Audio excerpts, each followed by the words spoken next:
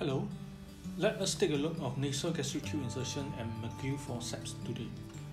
In preparation of simulation scenario, it is challenging to insert nasogastric tube into the appropriate length. Unlike human patient, mannequin has no mucous membrane to slide the tubes down. Mannequin also doesn't have the swallowing capability to assist the process and the tube is too soft to facilitate the indirect push in manipulating the turns, resistance, and obstruction in the mannequin's nasal and esophageal passages. To give a direct push in the tube insertions, I use Magill forceps.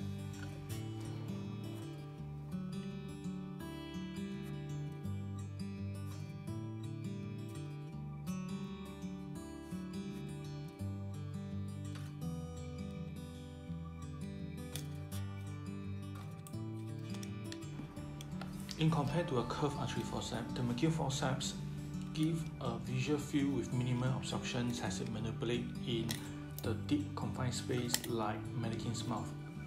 So it becomes a good tool to push the soft nasogastric tube down into the throat directly.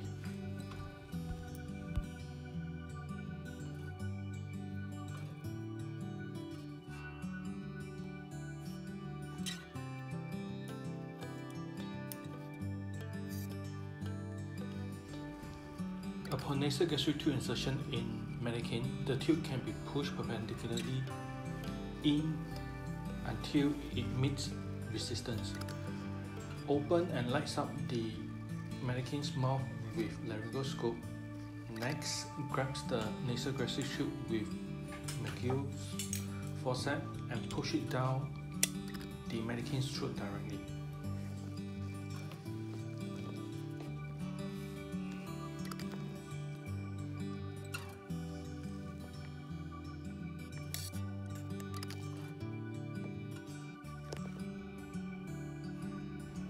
This is a video laryngoscope's view of Magill's actions in nasogastric tube insertion.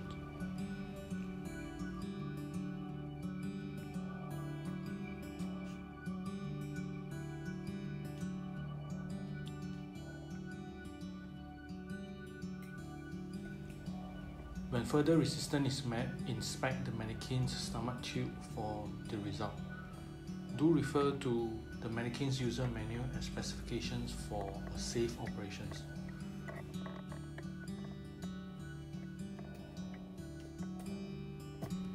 That's all for today. I wish that you like this and hope that it will help your next simulation.